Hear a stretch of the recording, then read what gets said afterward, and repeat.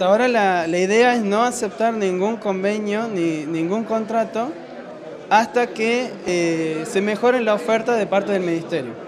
Esa es la postura actual.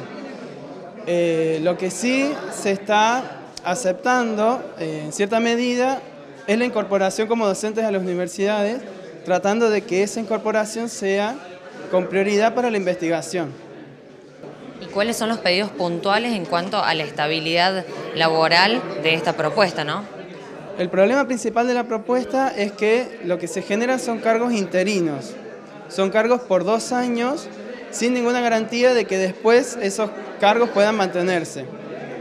Eso por un lado. Por otro lado, hay un, hay un punto en los contratos que, se están proponiendo que dice que si el Ministerio eh, no tiene fondos suficientes, puede unilateralmente revocar todos los contratos. Entonces esos son los dos puntos que se está tratando de mejorar a partir de los últimos reclamos de, de, los científicos afectados y de los gremios que están adhiriéndose a los reclamos de los afectados. ¿Crees que se ha hecho un recorte en cuanto a presupuesto de ciencia y técnica y por eso es que muchos investigadores quedaron afuera? Sí, se ha hecho un recorte, eh, eso es, eh, se puede ver directamente a partir de, los montos asignados a, la ciencia y tecnología del año pasado.